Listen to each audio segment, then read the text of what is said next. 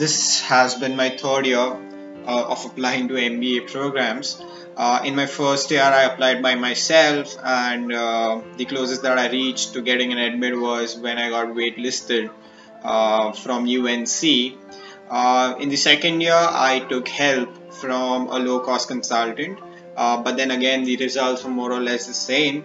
Um, in the third year, I, I, I, I nearly spent a month uh, in researching about uh, all the uh, top tier consultants in India. Uh, and then finally, I was able to zero down on Jatin.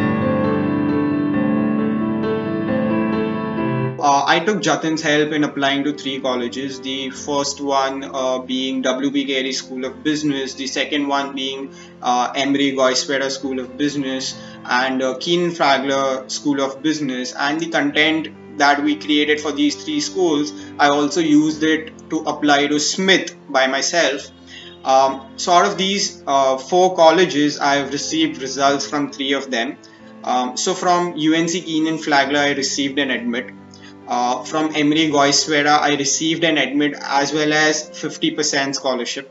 Um, from WP Carey School of Business, I received an admit plus 100% scholarship plus graduate assistantship uh, of minimum $15,000 uh, for the two years. Um, so yes, uh, I would say 100% strike rate for the schools from where I've received the results plus over and above that because I've received um, scholarships as well as graduate assistantships.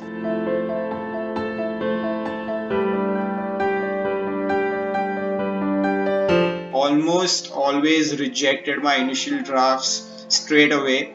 Uh, for a couple of essay topics, he even came back to me saying that you know you are not even addressing the essay question.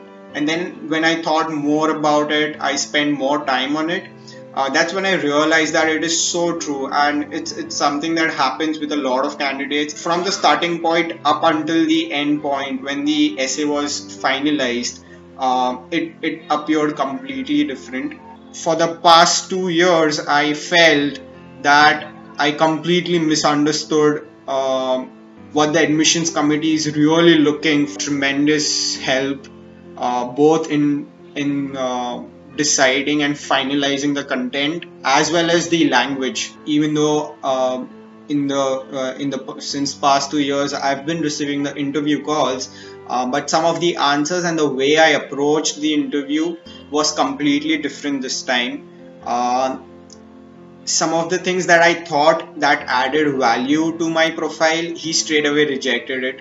And he told me he, he, he put he put in perspective as to what sort of conversation should a candidate have before he's about to submit his application with the current students or the admissions committee and what sort of questions or conversation should a candidate have when he's actually in an interview.